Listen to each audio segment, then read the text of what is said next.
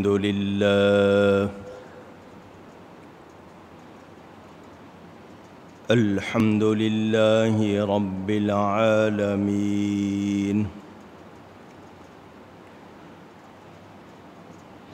والعاقبة للمتقين.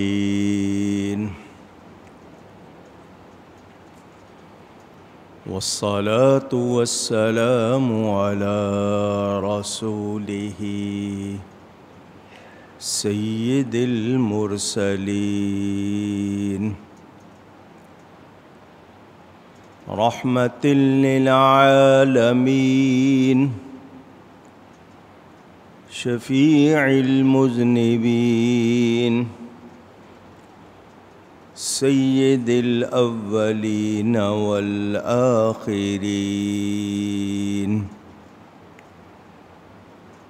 سيدنا ومولانا محمد رسول رب العالمين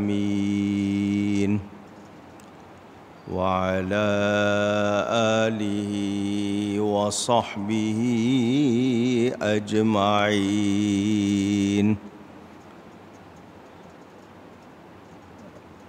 أما بعد فأعوذ بالله من الشيطان الرجيم. بسم الله الرحمن الرحيم.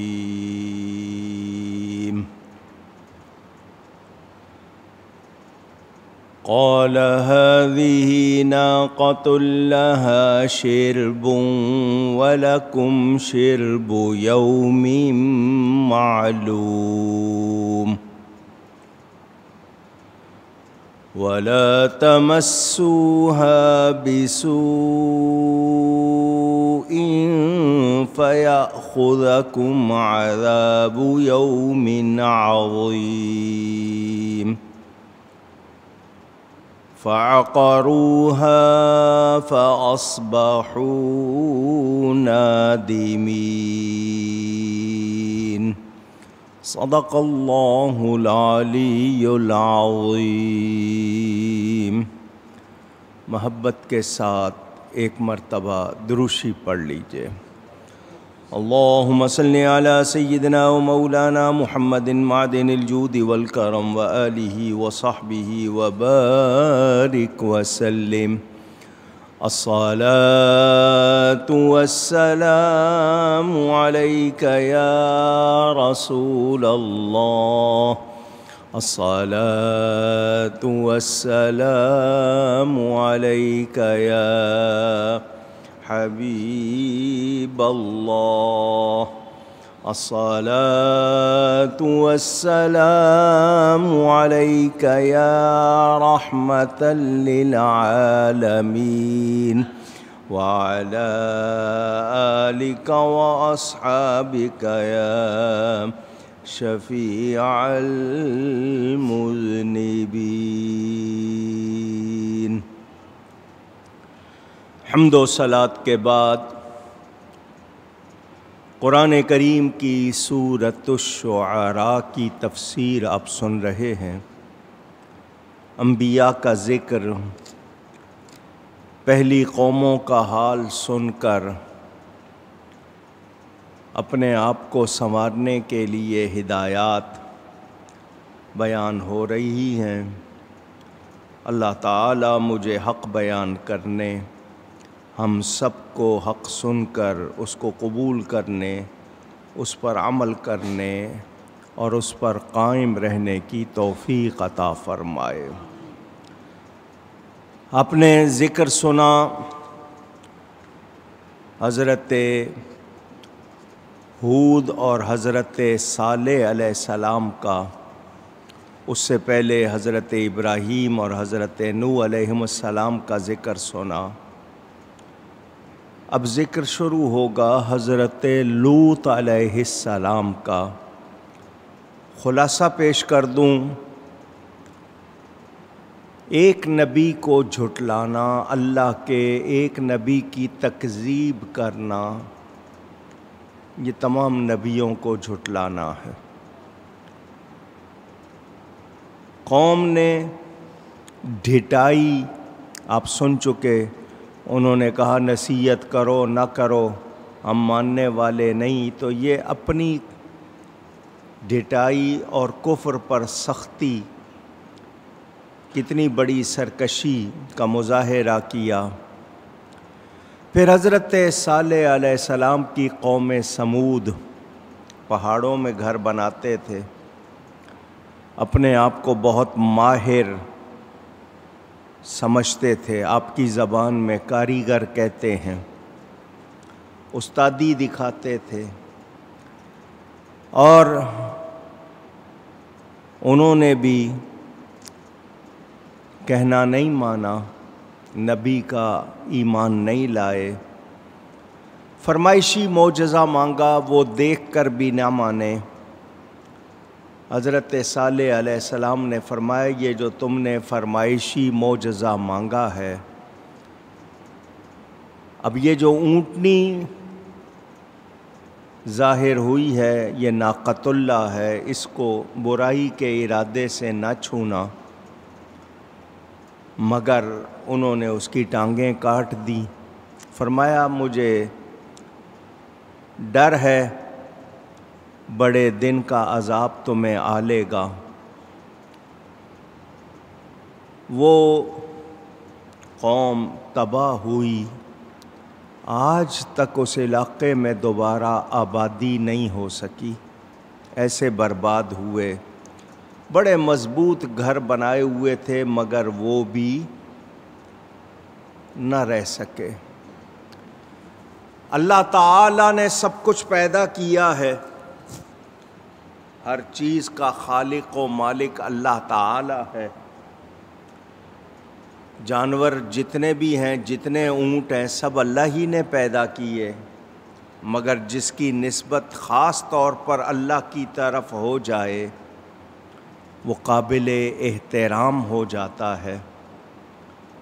قربانی کے جانوروں کے حوالے سے آپ قرآن میں سن، قرآن کا بیان ہے۔ اللہ کی نشانیاں فرمایا گیا ان کو۔ جس جانور کا گوشت نقصان پہنچائے، اس سے بچنا چاہیے، کیونکہ ہر نقصان دینے والی چیز سے بچنا لازم ہے۔ اونٹ حلال تھا، اس کا ذبح جائز تھا۔ مگر اس خاص اونٹنی کا ذبح بھی کرنا حرام قرار دے دیا گیا۔ منع کر دیا گیا۔ لیکن قوم نہ مانی، سرکشی، ڈھٹائی، ہٹ درمی اپنی اسی نافرمانی کی روش پر قائم رہے۔ بہت تھوڑے سے لوگ ایمان لائے۔ باقی سارے تباہ ہوئے۔ یہ قوم سمود کا حال آپ نے سنا۔ اگر کوئی ایمان نہیں لاتا، اللہ تعالیٰ کا کوئی نقصان نہیں ہے۔ کوئی اس کو مانے یا نہ مانے، اللہ کو کوئی فرق نہیں پڑتا۔ مگر لوگ پیدا کیے گئے کس لیے کہ اللہ کو پہچانے، اس کی عبادت کریں؟ تو جو کرتے ہیں، وہ اپنا بھلا کرتے ہیں۔ جو نہ مانیں گے، اپنا نقصان کریں گے۔ یہ ان کی محرومی ہوگی، ان کی شامت ہوگی۔ آگے ذکر حضرت لوت علیہ السلام کا۔ کربت قوم لوت المرسلین۔ لوت علیہ السلام کی قوم نے رسولوں کو جھٹلایا۔ اذ قال لهم اخوهم لوط الا تتقون۔ جبکہ ان سے ان کے ہم قوم نے حضرت لوت علیہ السلام نے فرمایا کیا تم ڈرتے نہیں ہو؟ انی لکم رسول امین بے شک میں تمہارے لیے اللہ کا امانت دار رسول ہوں۔ فتقوا اللہ واطیعون تو اللہ سے ڈرو۔ اور میرا کہنا مانو۔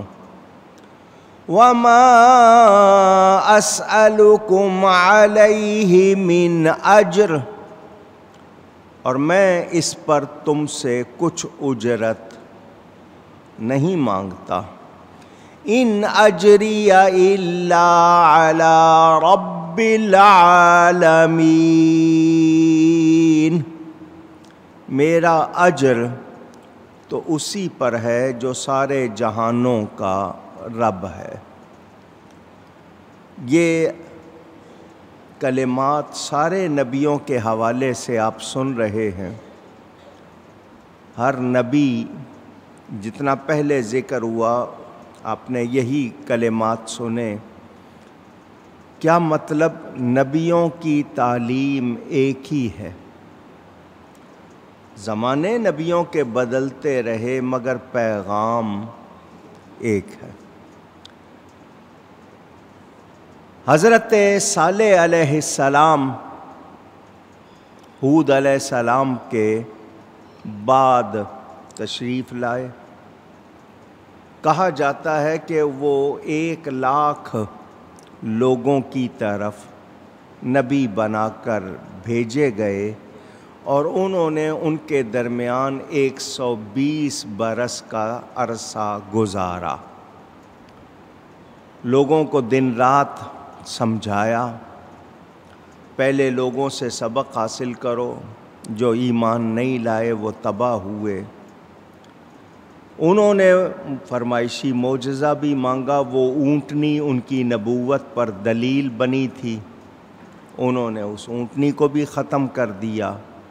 بعد میں پچھتائے، مگر بعد میں پچھتانا ان کے کسی کام نہیں آیا۔ اب یہاں میں نے ایک بات کرنی ہے۔ اگر آپ سب کی توجہ ہے، معجزہ اللہ کا فعل ہے، اللہ کا کام ہے، ظاہر نبی سے ہوتا ہے۔ قوم سمود کے لیے آپ نے سن لیا، انہوں نے فرمائشی معجزہ مانگا۔ پہاڑ پھٹا، زندہ اونٹنی نکلی، وہ بھی حاملہ اس نے بچہ جانا۔ وہ حضرت صالح علیہ السلام کی نبوت پر دلیل تھی۔ ہمارے نبی پاک صلی اللہ علیہ وسلم کی نبوت، ان کی شان سب سے اعلیٰ۔ ان کی نبوت کی بہت بڑی ایک دلیل ہمارے پاس ہے، اور وہ ہے قرآن پاک، جو میرے نبی پاک صلی اللہ علیہ وسلم کا سب سے بڑا معجزہ ہے۔ قوم سمود نے ناقت اللہ کی بے حرمتی کی۔ آج کلام اللہ کے ساتھ کیا ہو رہا ہے؟ غیروں کی بات نہیں کر رہا ہوں، جو مسلمان نہیں ہیں، ان کا معاملہ رکھیں ایک طرف۔ مسلمان کہلانے والے کلام اللہ کے ساتھ کیا کر رہے ہیں؟ ہاں بہت سے لوگ بہت اچھے کپڑے کا جزدان، غلاف بنا کر قرآن لپیٹ کر تو رکھتے ہیں۔ شادیوں کے موقع پر اس کے سائے میں لڑکیوں کو رخصت کرتے ہیں، جہیز میں بھی دے دیتے ہیں۔ قرآن کریم کا نسخہ ضرور دے دیتے ہیں۔ مگر میں اور آپ ذرا غور کریں، دھیان دیں، کیا ہم اس کلام کی قدر کر رہے ہیں؟ کیا ہم نے اس کا حق سمجھنے کی کوشش کی، کیا ہم روز اس کو پڑھتے ہیں، سمجھتے ہیں، عمل کرتے ہیں؟ تو اگر ایسا نہیں تو پھر ندامت ہمارا حصہ ہوگی، ہمیں بھی شرمندگی اور پچھتانا پڑے گا۔ پہلے لوگ معزز تھے قرآن کی برکت سے۔ اور آج ہم ذلیل و خوار ہو رہے ہیں قرآن کو چھوڑ کر۔ ہم اس قرآن کی قدر نہیں کر سکے۔ نہ پڑھتے ہیں، نہ سمجھتے ہیں۔ عمل تو بہت دور کی بات ہو گئی۔ ہمیں سوچنا چاہیے۔ میرے دوستوں اور بزرگوں جھوٹی خبروں کا اخبار صبح صبح ہمیں چاہیے۔ گھر میں ہر شخص کی کوشش پہلے وہ پڑھے، پیسے دے کر خریدتے ہیں۔ جتنے کا بھی آتا ہے، وہ انگلش ہو، اردو ہو، جو زبان بھی ہو۔ جھوٹی خبریں یا عجیب خبریں سیدھا نہار منہ جا کر، کہتے ہیں نا، نہار منہ آپ کا خالی پیٹ ہوتا ہے، فاسٹنگ، کلیجے پہ جا کے لگتی ہیں۔ وہ آپ پڑھتے ہیں شوق سے، مگر سچی خبروں والا قرآن نہیں پڑھتے۔ اخبار پڑھنے پہ کوئی ثواب نہیں ملتا، قرآن پڑھنے پہ ثواب ملتا ہے۔ ہمارے مقدر سنورتے ہیں، ہم سے بلائیں دور ہوتی ہیں کیونکہ یہ نور ہے، رحمت ہے، شفا ہے، ہدایت ہے۔ مگر ہم نے اس پر توجہ نہیں دی۔ جب دھوکے اور فریب کا دخل ہو جائے زندگی میں، تو پھر سچائی کہاں سے آئے گی؟ اللہ تعالیٰ نے کافروں کو عذاب سے ڈرایا، انہوں نے آگے سے مذاق اڑایا۔ آج ان کا حال سن کر بھی، ان کا انجام سن کر بھی ہم نہیں سیکھ رہے۔ کتنی بڑی محرومی ہے۔ حیران ہوتا ہوں میں۔ ساری ساری رات جاگ کر میچ دیکھ لیتے ہیں۔ ناول پڑھ لیتے ہیں، ڈرامے دیکھ لیتے ہیں، فلمیں دیکھ لیتے ہیں۔ کیا کیا چیز، کتنا ٹائم ہم لگا دیتے ہیں، مگر دس منٹ ہم قرآن کی تلاوت نہیں کرتے۔ جب یہ اٹھ جائے گا، اٹھا لیا جائے گا، کیا کریں گے ہم؟ کبھی سوچا اس قرآن سے پیار ہونا چاہیے۔ صحابہ کرام سینے سے لگا کر کہتے تھے حاضہ کلام و ربی حاضہ کلام و ربی۔ یہ میرے رب کا کلام ہے، یہ میرے رب کا کلام۔ کہنے والے کہتے ہیں کہ اسکول جاتے ہوئے بچے جو بستہ بیگ اٹھاتے ہیں، اس کو پشت پہ رکھتے ہیں، اپنی پشت پہ۔ لیکن آپ نے دیکھا ہوگا قرآن پڑھنے والے قرآن کو سینے سے لگاتے ہیں۔ کیا مطلب؟ وہ تعلیم پیچھے رہ جائے گی، یہ قرآن آپ کو آگے لے کے جائے گا۔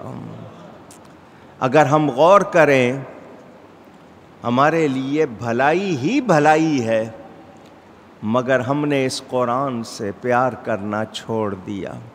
پڑھتے بھی نہیں۔ جب پڑھیں گے نہیں سمجھنا تو پھر اور زیادہ دور ہو جائے گا اور عمل تو بہت زیادہ دور ہو جائے گا۔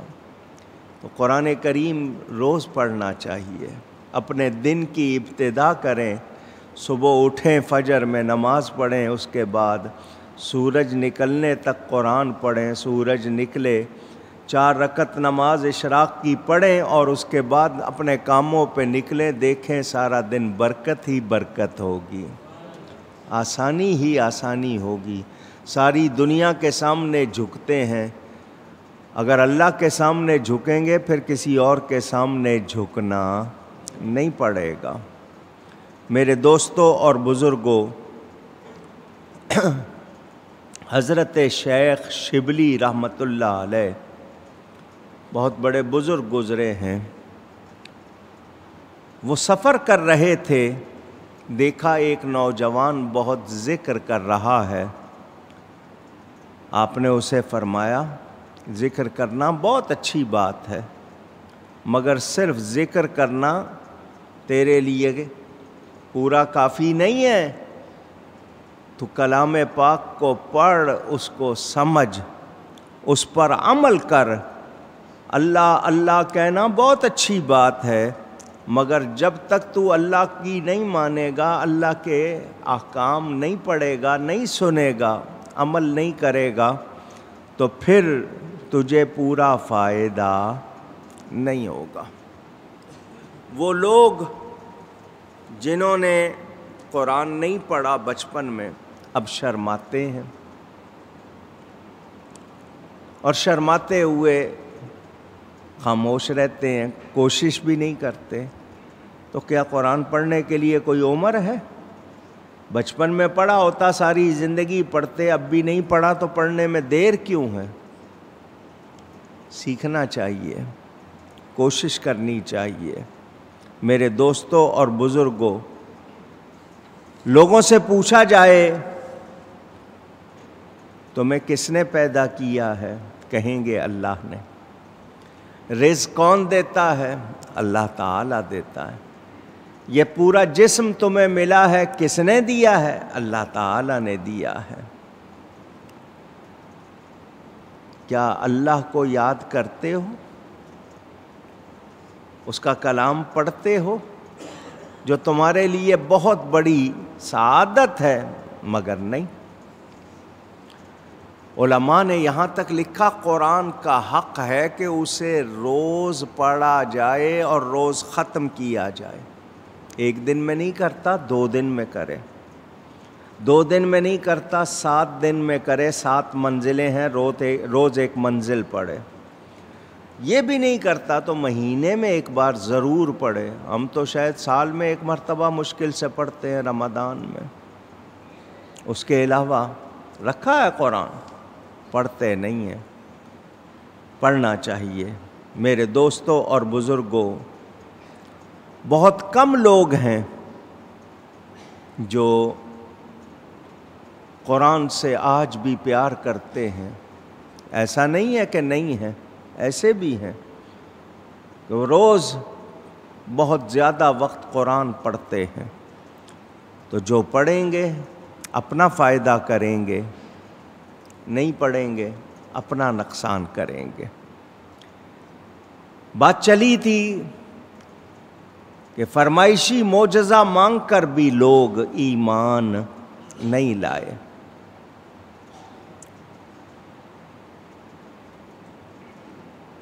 تباہ ہو گئے۔ پچھتاتے رہے مگر پچھتانا ان کے کام نہیں آیا۔ حضرت لوت علیہ السلام ان کے والد کا نام ہاران بیان ہوا ہے۔ اور یہ حضرت ابراہیم علیہ السلام کے والد کے بھائی ہاران اس لحاظ سے کہہ سکتے ہیں کہ حضرت لوت علیہ السلام حضرت ابراہیم کے رشتے میں بھتیجے ہوتے ہیں۔ جس طرح کے کتابوں میں ہے۔ لوت علیہ السلام اپنے چچا حضرت ابراہیم علیہ السلام کے ساتھ ملک شام کی طرف ہجرت کر گئے۔ انہیں اردن کے قریب ایک علاقہ صدوم یا صدوم کہلاتا ہے، اس کی طرف نبی بنایا گیا۔ یہ حضرت لوت علیہ السلام، حضرت ابراہیم علیہ السلام کی دعا سے، نبوت سے سرفراز ہوئے اور انہوں نے قوم کو جا کر پیغام دیا، اللہ سے ڈرو اور میرا کہنا مانو۔